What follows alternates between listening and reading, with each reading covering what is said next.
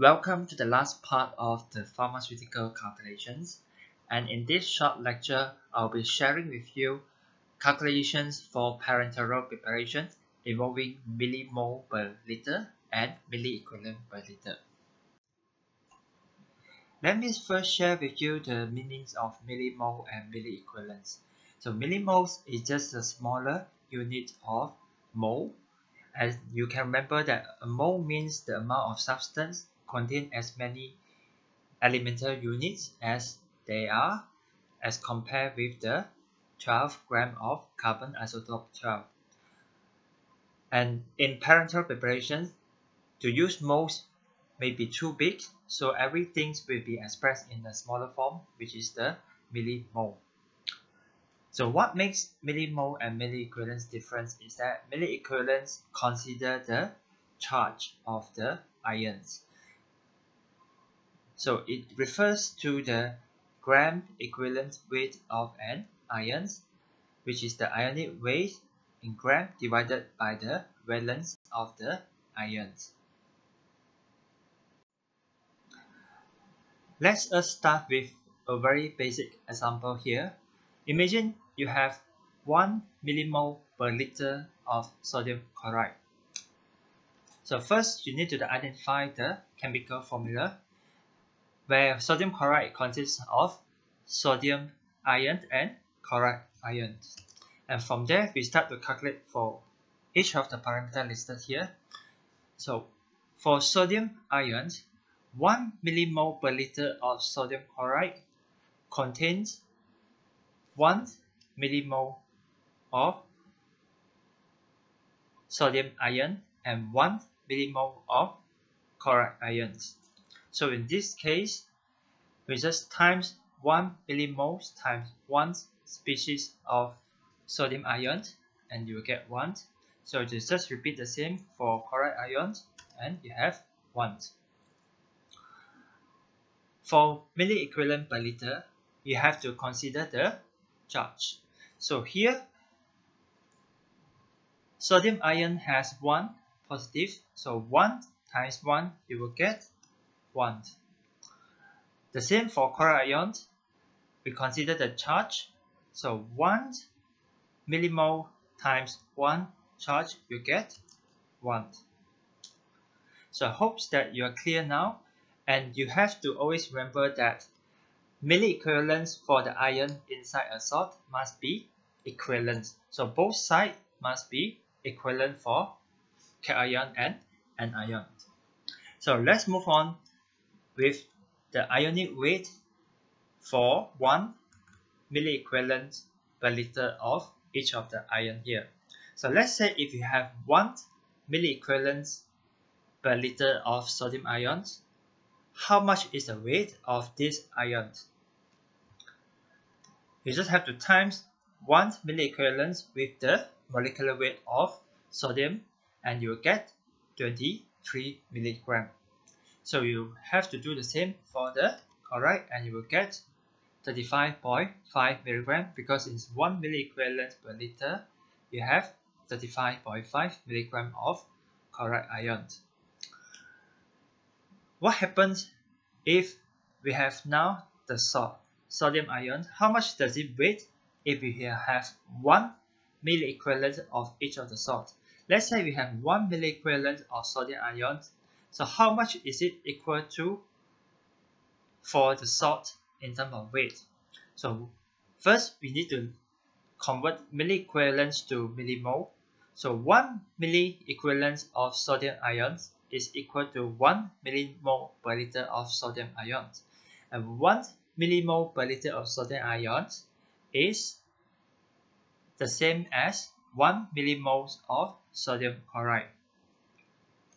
So with that, 1 milliequivalent per liter of sodium ions contains in 1 millimole of sodium chloride. So you just have to times 1 millimole per liter with the total molecular weight of the salt which is 58.5 and you will get 58.5 milligram.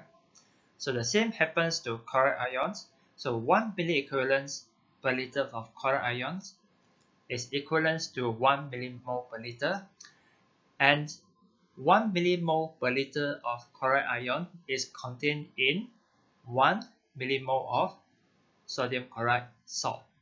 So 1 millimole per liter of sodium chloride has 58.5 milligram. So what happens when we have 1 millimole per liter of each of the ions? I believe that you are clear now because each of them is just 1 and 1. So you should get 58.5 milligram for each of the ions to have 1 millimole per liter.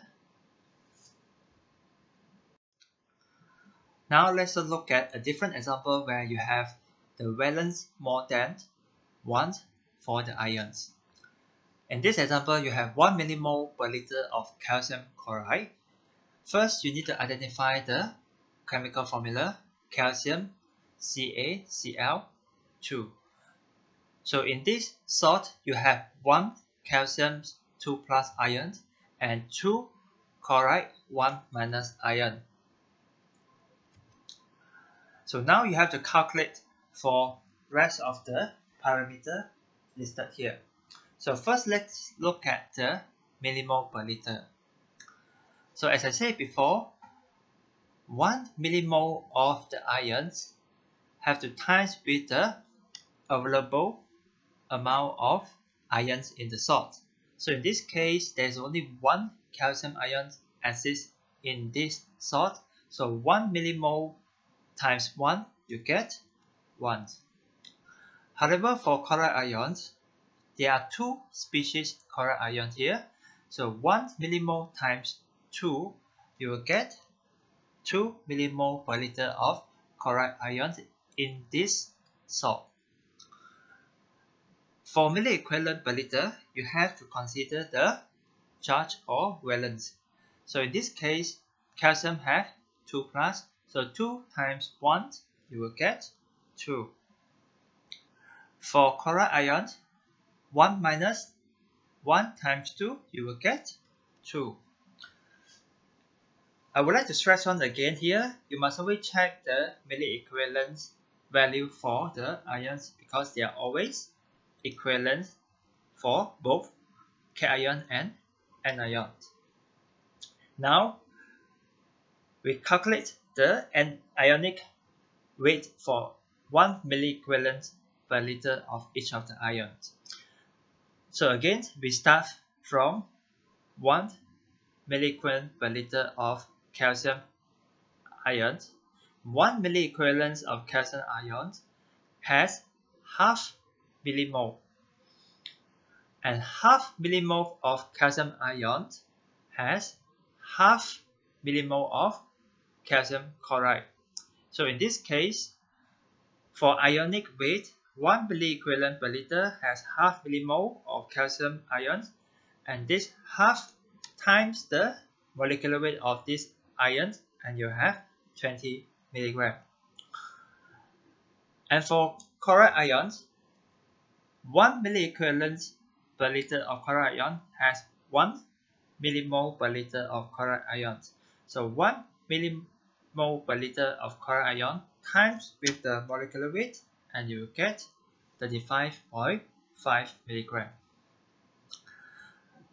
Let us now look at the weight of the salt for calcium chloride when it contains 1 milliequivalent per liter of each of the ion. Let's first look at the calcium ions.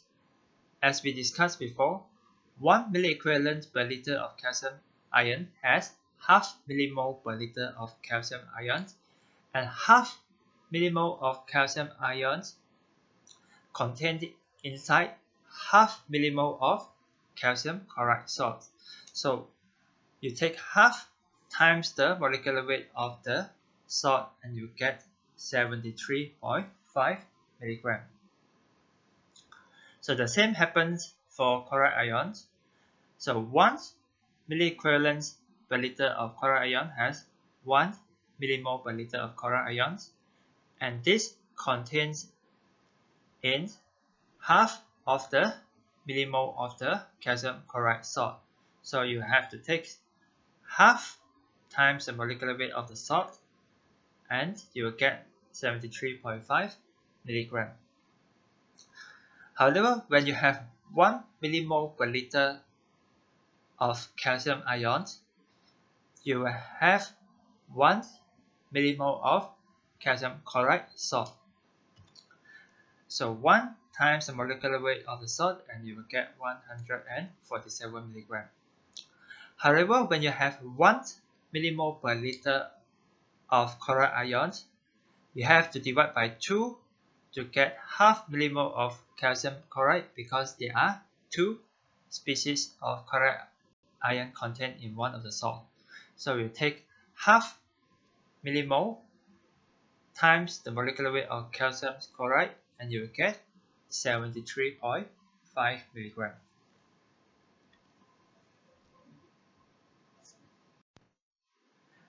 And these following two tables summarize what we have discussed in the previous two slides. We now look at the actual situation where we can apply these calculations.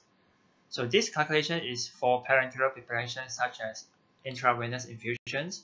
So in this case, we have sodium potassium sulfate chloride ions to be prepared in 1 liter of water for injections. So first you have to identify the cation and the anions and then following by recognizing the salt given which pairing the ions given. So let's just first match the ions so it would be good if you can present it in the table so everything will be shown clearly. So for here, we start with the ions with the lower number. So in this case, we have sodium followed by sulfate and then chloride and the last potassium. So we start with sodium and in here we have only one salt that contains sodium which is sodium chloride. So the 20 will fall under sodium chloride. So to match with the anions, you must have 20 chloride ions. So the leftover, you have 55 minus 20 and you have 35 chloride ion over here. So this 35 milliequivalents per liter of chloride ion going to match with the other salt which contains chloride ion which is potassium chloride. So in this case you have 35 milliequivalents per liter of potassium ions. So you still have leftover of 50 potassium ions and these 50 potassium ions going to match with the sulfate ions in the potassium sulfate so which is exactly 50 so total up both sides 105 and 105 for cation and ions and you will see here now the calculation is correct because we get both sides the same for milli equivalent per liter.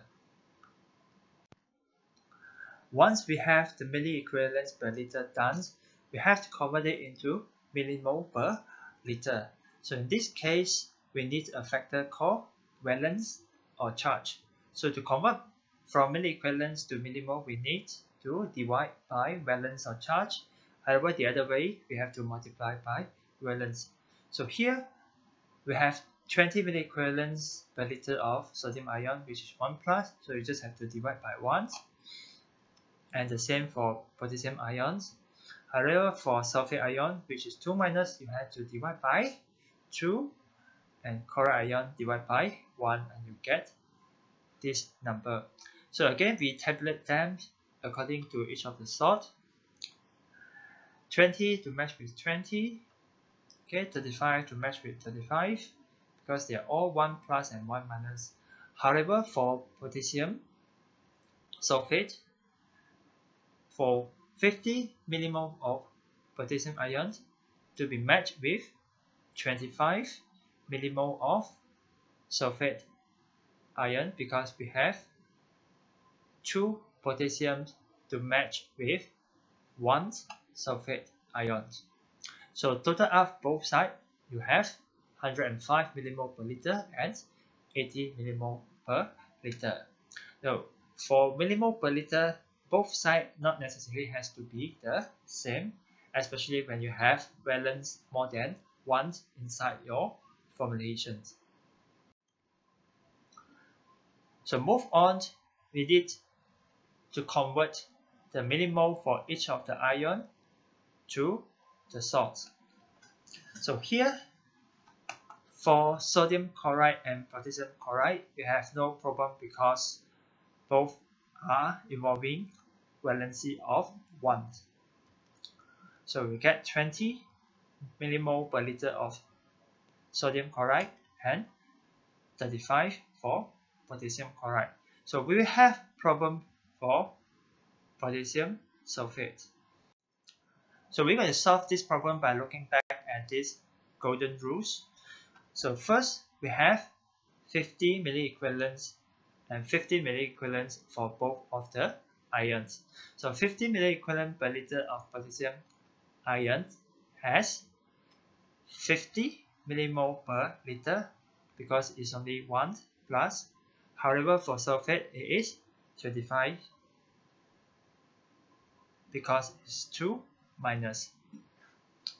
So from here, we have to convert it into millimole per liter for potassium sulfate salt. So in 1 mole or 1 millimole of potassium sulfate, you have 2 mole or millimole of potassium and 1 mole or millimole of sulfate ions. So for 50 millimole per liter of potassium ions, you will have 25 millimole of potassium sulfate. Or you can look at the cat anion part where 25 millimole per liter of sulfate ions is contained inside 25 millimole of potassium sulfate because there is only one sulfate ion present in the salt. With that, we know that with 50 millimole per liter of potassium ions and 25 millimole per liter of sulfate ions, we will have 25 millimole per liter of potassium sulfate salt. So to make your calculation easier, you can always take the smaller number to be multiplied or to become the millimole per liter of your salt. You all now know how to convert from milliequivalent per liter to millimole per liter or vice versa. The next step you have to know is to convert millimole per liter to milligram per liter and further to percentage weight per volume. So in order for you to convert millimole per liter to milligram per liter, you need a factor called molecular weight. So molecular weight is in the unit of gram per mole or is the same for milligram per millimole. So now let's see how we can convert from 1 millimole per liter to milligram per liter. So 1 millimole per liter can be expressed as 1 millimole divided by 1 liter. And in order to change to or convert to milligram, we need the ratio on the factor of a molecular weight so we just multiply with the molecular weight and you will get milligram per liter. So in order to convert from millimole per liter to milligram per liter, you just have to multiply. However, for the other way, you have to divide. We've done the discussions on the conversions from millimole per liter to milligram per liter or the other way around. So now let's look at from the conversion from milligram per liter to percentage weight per volume. So to do that, we need a factor. So how do we determine the factor? So as you know that percentage weight per volume means that gram or one part or one gram per 100 mil. So imagine you have one milligram per liter it means that you have 1 milligram in 1 liter So to convert it to grams, well, 1 milligram is equal to 0 0.001 gram per 1000 ml. So in order to keep gram and 100 ml, so we have to take out one zero, and this zero have to put it to the top, and it will, it means that 0 0.001 gram in 100 ml. So 1 milligram per liter is equal to 0.0001%. So and this factor is 10,000. So for milligram per liter will to be converted to percentage weight per volume, you need to divide by 10,000.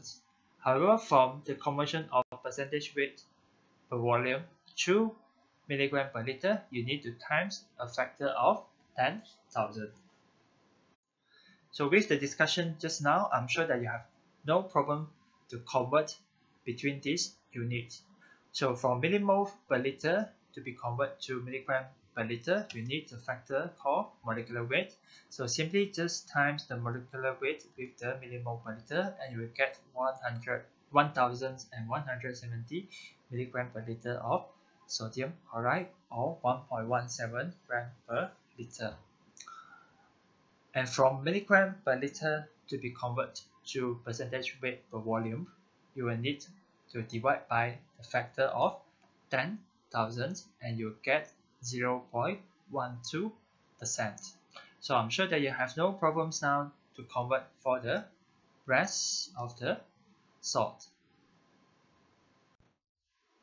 With the calculation you have done, now you can express or have your own formula for this 1 liter of intravenous infusions where you have 1.2 gram of sodium chloride salt 2.6 gram of potassium chloride and 4.4 gram of potassium sulfate to be topped up to 1 liter using water for injection.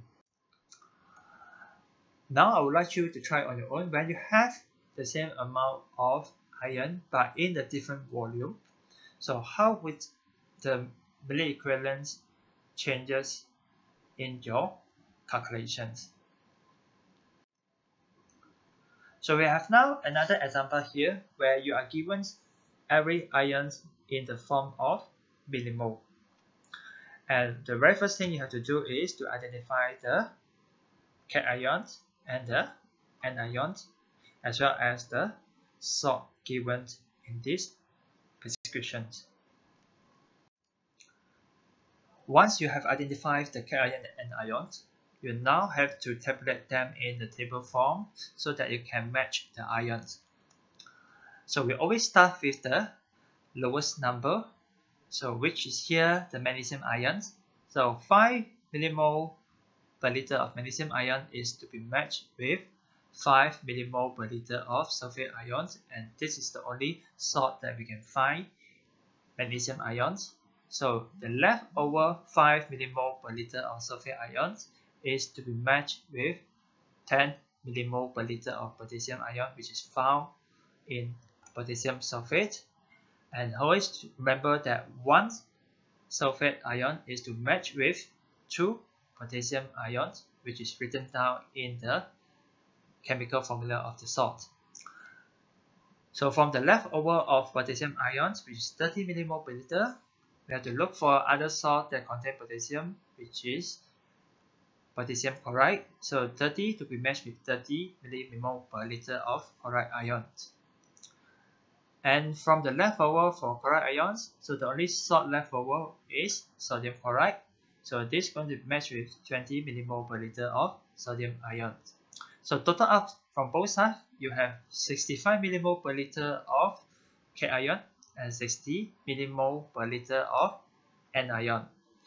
To have a quick calculation for the milli equivalent per liter for each of the salt, so to convert from millimole per liter to milli equivalent per liter, you have to multiply with the charge. So 20 times 1, 20. So 40 times 1, 40. And 5 times 2, you got 10. And total up, you have 70 milli equivalent per liter for cations. However, for anions, you have 10 times 2 is 20 and 50 times 1 you got 50 and you have the same number as the cations so so this is a way that you can check whether you have the right calculations. And from there you have to find out the millimole per liter for each of the salt. So as I always say you take the lowest number. So for valence equal to 1, you have no problem. However, when you have valence more than 1, which at present in magnesium sulfate and potassium sulfate, you have to take the lowest number. So with that, I'm sure you have no problem to convert millimole per liter to milligram per liter.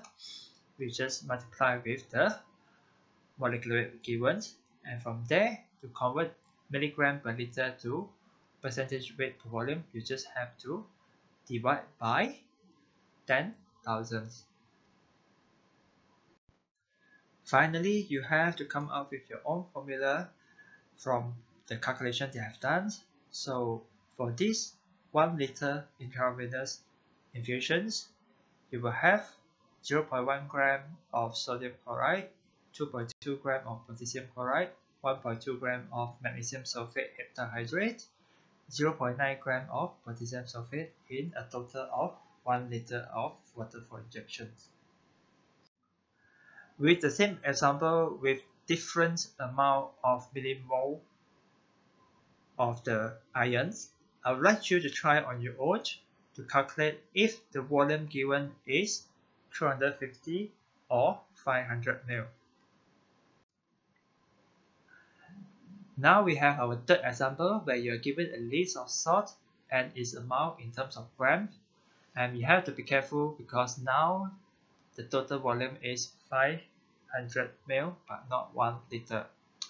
So anyway, we first identify the cations and the anions. So when you have everything ready, so tabulate them in this kind of table. So from the two previous example, you are given milli equivalents of millimole, so you have to convert them to millimole per liter and then to milligram per liter and then to percentage weight per volume. However, in this case, we are doing the other way around. So you start from milligram per liter. So you have to be careful here because the amount given in is in 500 ml. So when you have to convert it into milligram per liter, you have to put two times the amount. So from there, you convert it into percentage weight per volume, and then you divide that with molecular weight, and you get the millimole per liter for each of the salt. Okay. And then for each of the salt, you identify the millimole per liter for each of the ions. And then you total up them or you can start tabulating in the table form. So for sodium ions, the millimole per liter is 68.4, so you have no problem. And potassium chloride, you have no problem. However, for magnesium sulfate, where each of the ion is 2 plus and 2 plus, so remember the principle, millimole per liter takes the number of species present. So in magnesium sulfate, there is one species of magnesium and one species of sulfate. So it remained the same because it's just time 1. However, for potassium sulfate, the number of millimole per liter for the salt is 34.5. However, in each of the salt, there is two species of potassium ion, so you have to times 2. However, there's only one species of sulfate ion, so you have to times 1. So to convert from millimole per liter to milliequivalent per liter, you just have to multiply with the valency. So now everything's in valence of 1 except magnesium sulfate and yeah, so just magnesium and sulfate ions for both magnesium sulfate salt and potassium sulfate salt. So you have to times 2 for this 3 number. So when you sum up both sides, you see that both sides get the same amount for the milliequivalent per liter and this is again a way to check whether your calculation is accurate. Or what you can do is you keep the amount in whatever given, in this case 500 per mil, you can also start doing that. However, you have to be bear in mind that the amount you calculated here for everything is for 500 mil, which all this number is half from the previous slide. Apart from the four methods that we have discussed in the previous few lectures for isotonicity adjustment, for parenteral preparations, we also can use another method by calculating the total milliequivalent per liter of the formulations. So in our blood plasma, it contains 155 milliequivalent per liter of cations as well as 155 milliequivalent per liter of anions. So it means that when the total up, you have 310 milliequivalent per liter. So when you have one intravenous infusions, when it total up for both cation and anions achieve 110 milliequivalent per liter, your intravenous infusions is isotonic.